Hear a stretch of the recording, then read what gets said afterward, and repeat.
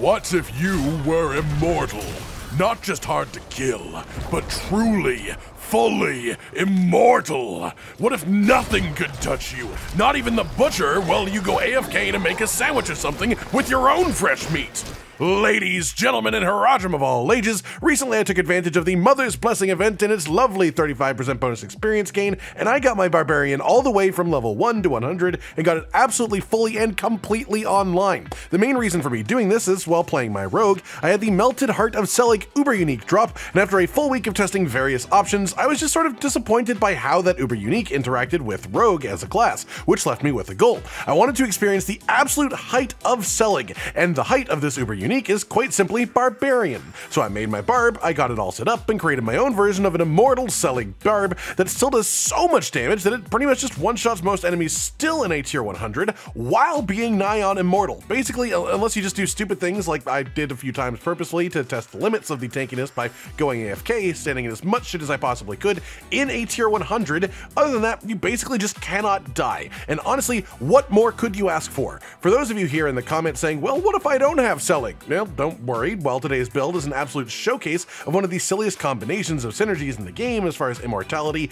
and simultaneous damage output, you can quite easily fill the whole of Selig in this build, and what you get instead is much higher damage output, but with a bit less survivability. But the result is just a more defensively minded and focused version of a regular Hammer of the Ancients build, and well, that is still something that is quite useful to have around for tougher content, like, you know, the stuff we have coming in just under a week now. All that said, let's dive into the meat of all of this, the skill points and where I've put them, our arsenal technique of choice, the legendaries and uniques that make it shine, the affixes that you want on your gear to support this as much as possible, the vampiric powers that make it even sillier, and then of course our Paragon board setup. With this one, I'm extremely happy with the amount of goodness that we got from it that it pumps into the build, and so without further ado, let's dive on into the skill points themselves. Starting off with our basic skill, you are actually going to want Lunging Strike as this, with its enhancement, and then also Combat Lunging Strike 2.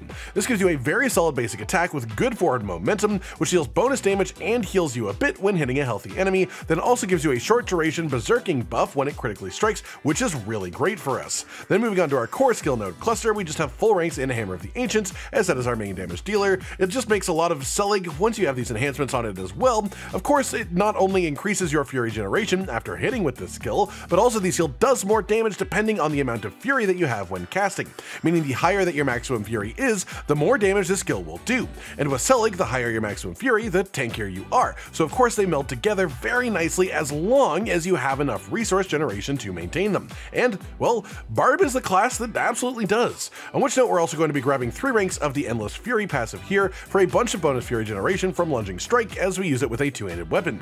Then we move on to our defensive skills here, and we're going to be grabbing Rallying Cry as well as its enhancement and also Tactical Rallying Cry. This is one of our shouts. We are of course going to be getting all of the shouts, and this is the one that specifically boosts your resource generation by a massive amount, which as you may guess is perfect for Selig and also for Hammer of the Ancients. This also gives us Unstoppable when cast, which is useful too. Then we also get Challenging Shout here, along with its enhancement and also Tactical Challenging Shout. This gives us a taunt that also boosts our maximum life and gives us bonus Fury when hit. Worth mentioning that as a baseline, Barb does generate Fury when it takes damage, which automatically makes it an awesome pairing with Selig, as if you have enough resource generation as a stat, you can even out the damage intake hitting your Fury with Selig, and generate as much Fury when you get hit as you drain from Selig absorbing the hit that you take. It's really nuts how good this combo can get if you do it right. Then we also grab some passives here, which is going to be 3 ranks of Imposing Presence for a bunch of bonus maximum life, then also 3 ranks of Martial Vigor for a good chunk of damage resistance against elites, which are honestly the most dangerous enemy type in the game, so this is super important to have. Then move on to the Brawling Cluster, and here we're going to be picking up Warcry, as well as its base enhancement, but nothing further than that. This shout gives us a damage bonus while active and also gives us 4 seconds of Berserking. Then we just grab a ton of passives here in this cluster, three ranks of Booming Voice for an increased duration on our shout skills by a pretty reasonable amount, as well as three ranks of Guttural Yell, which just causes the enemies around you to do 12% less damage for 5 seconds after you use one of your shouts. Then we also take three ranks of Aggressive Resistance here for a pretty nice chunk of damage resistance while berserking. We also have bonus ranks of this from one of our uniques. Then we also get three ranks of Prolific Fury for a ton of bonus Fury generation while we are berserking as well. After that, we head on over to the Weapon Mastery cluster to just take a bunch more passives once again. Three ranks of Pit Fighter here for a bonus to close enemy damage, as well as a damage reduction from distant enemies too, and then one rank of Thick Skin, mostly as a gateway to let us get three ranks of Defensive Stance for a good chunk of bonus damage reduction while fortified, as well as two ranks of Counter Offensive for increased damage when we have fortified for over 50% of our maximum life. Once we move on from that, we go to the ultimate skill node cluster here, and we're going to be grabbing Wrath of the Berserker as well as each of its enhancements, all in all giving us essentially up to a 14 second period of straight up berserking that will activate naturally with how we play, as well as activating Unstoppable for a few seconds too, increasing your movement speed, your fury generation, and the fun special synergy of boosting the damage bonus of berserking itself for every 50 fury that you spend while the skill is active. And yes, the damage intake resource drain of Selig does count, so you actually pretty immediately get this up to its maximum bonus against higher tier enemies. After that, we end off with some passives here, three ranks of Wallop for bonus damage with bludgeoning weapons against vulnerable enemies, and then three ranks of Brute Force for a massive overpowered damage bonus multiplier with two-handed weapons. Finally, we round off with our key passive itself, which is of course going to be Unbridled Rage. This increases the fury cost of our core skills, but also increases their damage dramatically. That covers our skill points then, so let's talk about our technique slot, and this is pretty simple. We use a two-handed mace for the vast majority of our actual damage, our actual output, and so that's just always going to be active. So we want our technique slot to be actually be the two-handed sword here, which is a constant bleed damage based on your output for every direct damage that you deal. This is both a very effective way of doubling down and getting a large chunk of bonus damage from the technique slot, while also using it to apply bleed, which can activate our damage reduction from and bonus damage to bleeding enemy bonuses, which is really useful to have. Moving on, let's talk about our legendaries and uniques then. Starting off, of course, we have Selig itself here. The main thing some of our synergies are built around and a massive aspect of our tankiness in general, this build is specifically tailored towards this uber unique, and this is essentially just the build to use if you have it. But if you want to play this style of somewhat more defensively leaning Hammer of the Ancients without Selig, pretty much all you really have to do is slot in the Banished Lord's Talisman instead. This thing about this build, it's just it still one-shots the vast majority of enemies, even in a tier 100 with Selig, which means the bonus damage of Banished Lords is sort of excessive for anything other than boss killing. That said, it is still there, and the damage of it is nuts, which it's great for bosses or even larger enemies within dungeons. Past this, we also are going to be using the Ring of Red Furor. The ring itself has massive resource generation on it, more than average for a ring, which is fantastic for us. It's an extremely important stat, and it also has massive maximum fury increase, again more than average for a ring. These are our best stats, so it's really good to have excessive versions of these affixes. That in itself makes the ring worth using, but then it also gives you a guaranteed crit with Hammer of the Ancients occasionally that also does bonus multiplicative damage and really helps skyrocket what this build can do.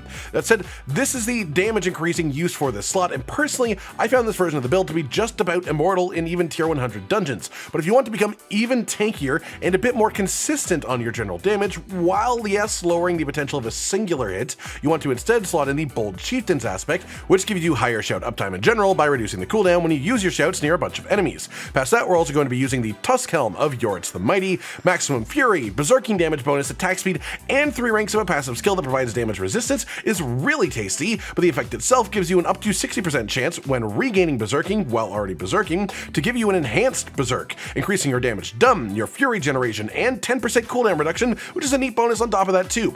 Then our final unique is going to be Tibault's Will, again another source of bonus maximum resource, some more damage reduction, and of course the extremely powerful bonus of when you go unstoppable and for 4 seconds afterwards you gain up to 40% damage and give yourself a chunk of resource, both of which are incredible with the timings of this build, and well, the two sources of unstoppable that we have. After that, it is pure legendary aspects. On our two-handed bludgeoning weapon, of course, you're going to want to have Limitless Rage for a ton of bonus damage for every fury that you build above max before using a core skill.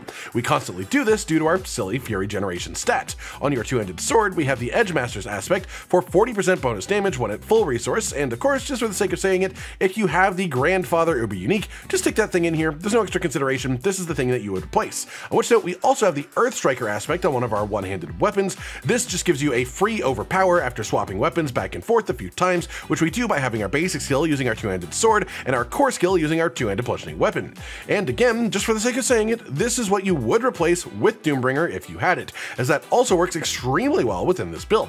Our final weapon aspect then is of course going to be the aspect of Ancestral Force, which gives Hammer of the Ancients more of an area of effect attack on its damage to make it easier to use in wave clearing scenarios. Past that, we have the aspect of Echoing Fury on our remaining ring, which gives us a nice chunk of fury generation per second while our shout skills are active. Then we've got the Relentless Berserker aspect as well on our gloves, which gives you a up to 40% lucky hit chance to extend the duration of berserking when you hit an enemy with a core skill while you're already berserking.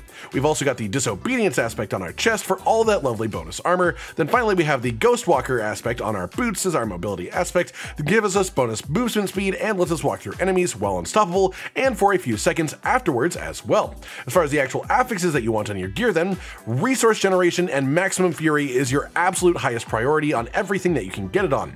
Crit chance is pretty important as well where you can get it. Overpower damage is absolutely extremely important on this because it's just this build has a ton of forced overpowers and the way that that stat scales is really lovely. It's a really high value affix if you can trigger it. Then we also want to aim for damage while berserking on your rings and weapons wherever possible as we also double dip in that stat for multiple different damage bonuses. On top of that, you also just want to have your general standard crit damage, vulnerable damage, your main stat, and of course your 4 bonus ranks to Hammer of the Ancients on your gloves too.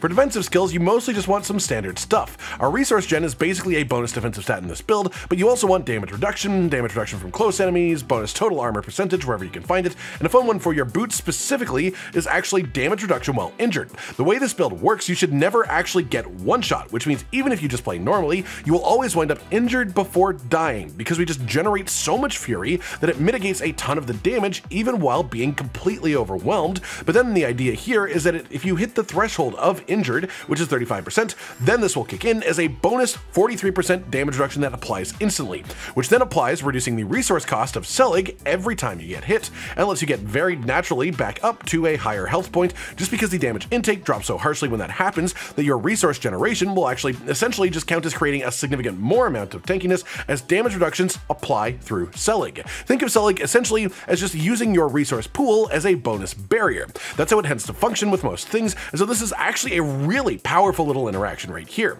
That covers it then as far as gear then, so let's talk about our vampiric powers. We're of course going to be grabbing Hemomancy, as you'd probably expect, for a pulse of damage every 4 seconds for 80% of our maximum life, that also does heal us a good chunk when it happens. We also have Resilience, which gives you 1% damage reduction for every 2% life you are missing. Stack that up with our damage reduction while injured to make you become even more unkillable as you start actually losing health, adding greatly to our immortality.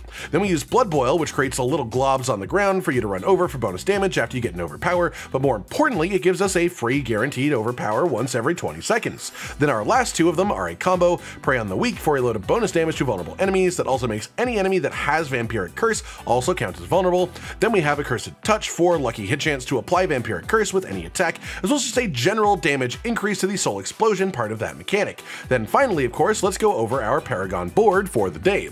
On the starting board, you want to head up the left side, grabbing the defensive, rare, magic nodes, of course, continue to the glyph socket, and here you want to put in the Crusher glyph. This gives you bonus damage with two-handed bludgeoning weapons, and also a bonus damage multiplier to overpower damage done with maces. You want to grab the strength needed nearby to activate the secondary effect, as well as both of the rare nodes here.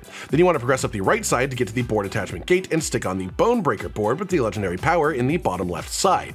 You want to head directly there, stopping to grab the nice damage reduction while fortified rare node along the way, and then once you get to this legendary power, you'll just essentially get a free guaranteed overpower once every 12 seconds, which is very solid. From there, you want to head up the right side through the lovely maximum life rare node to get all the way over to the glyph socket itself, and on this board, you want to slot in the martial glyph for a good bonus to all the magic nodes in the radius, as well as a cooldown reduction to your shout skills anytime you use a different one of your shout skills. Of course, from there, you want to grab the rare nodes in the radius, as well as just enough strength to activate the glyph. Then you want to head out the right side of the board and attach on the Carnage board here with the legendary node on the right side. You want to head directly to the glyph socket of the board, and in here we're slotting in the Ire glyph, which gives you bonus damage while berserking. Again, the thing that we double dip on, and the additional bonus is while berserking, you take 10% reduced damage from elites, which is of course fantastic. Again, grab the rare and magic nodes within the radius, as well as just enough strength to activate the board, and make sure that you grab these damage while berserking bonuses, because again, we double dip on these, they're very valuable. Then you want to head down and left to get a little bit cheeky and pick up a nice little bit of 30% cold resistance and some armor, just to even out our resistances just a little bit. After that, you want to head down to the board attachment gate, and here you're going to stick on the Warbringer board with the legendary power on the top right corner, as well as the glyph socket. You want to actually head directly towards the legendary power itself, going through the maximum fury, rare, and magic nodes, which is of course, again, a really good stat for us. Then you just travel all the way to legendary node itself, which gives you a lovely amount of fortify from your max life for every 75 spirit that you spend, and yes, once again, Selig draining your resource when you get hit does actually count for this, which is a fun little synergy here. After that, you want to head back to the start of the board and instead go right to the glyph socket, where you'll want to slot in the Wrath glyph here, which gives you bonus damage with critical strikes, as well as some fury regeneration whenever you crit against an enemy, which is quite lovely too. Grab the rare and relevant magic nodes in the radius, as well as enough dexterity to power the glyph, then head down and right to the board exit, and here you want to stick on the Blood Rage board, with the legendary power being all the way on the bottom left. You want to progress towards that legendary power specifically, stopping to get the bonus damage while berserking, rare and magic node along the way, just because they're convenient, and once you get to the node itself, the legendary that is, you'll have the bonus, which is killing a bleeding enemy, has 10% chance to grant you berserking for 5 seconds, and your damage is increased by 25% of your damage while berserking bonus. Just permanently, this is a bonus multiplier to all damage based on your damage while berserking bonus, which is why we stack that stat as hard as we do whenever we can. After that, you just want to head around through the side to the glyph socket itself, we're going to be slotting in the Mortal Draw glyph. This increases the damage of skills that swap weapons. So anytime that you use Hammer of the Ancients after a lunging strike, and generally that is the ideal flow here, you don't really want to use Hammer of the Ancients twice in a row, so this will just happen sort of naturally, and well, it works perfectly as a result. Of course, the secondary effect, of course, is skills that swap weapons also gain a bunch of bonus crit chance, which is lovely for us too. We then grab the relevant rare magic nodes in the radius and just enough dexterity to power the glyph, then we want to head back up to the Carnage board specifically, and actually progress through the right side to get more damage while berserking nodes, because again, these are incredibly good, and progress out to the right side of the board, attaching on our final board, which is Decimator with the glyph socket on the left side.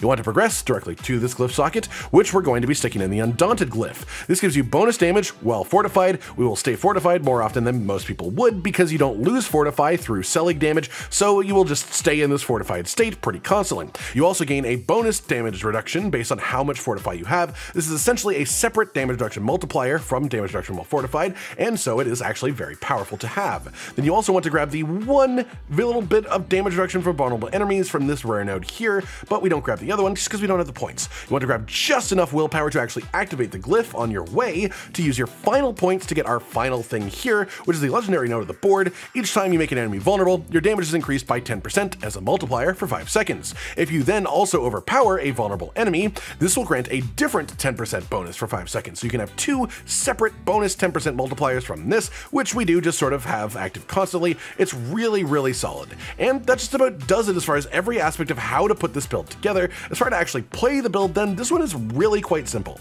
You want to use Hammer the Ancients when you're at maximum fury, use your shouts and lunging strike to build fury, you become immortal for all actual practical purposes while still being capable of doing upwards of 50 million damage in a singular hit. So you hit this just absolutely ridiculous nexus of tankiness beyond all belief, while also having insane damage potential at the same time. It really is just sort of the perfect build right now in my opinion. I hope you've all enjoyed this and let me know your own thoughts on it, and hey, if you have Selig yourself, maybe give this a try. If not, maybe let this be your inspiration to continue your search for this glorious amulet. Like if you liked the video, subscribe to the notification bell for more, and most importantly, ladies and gentlemen, until next time, stay sweet.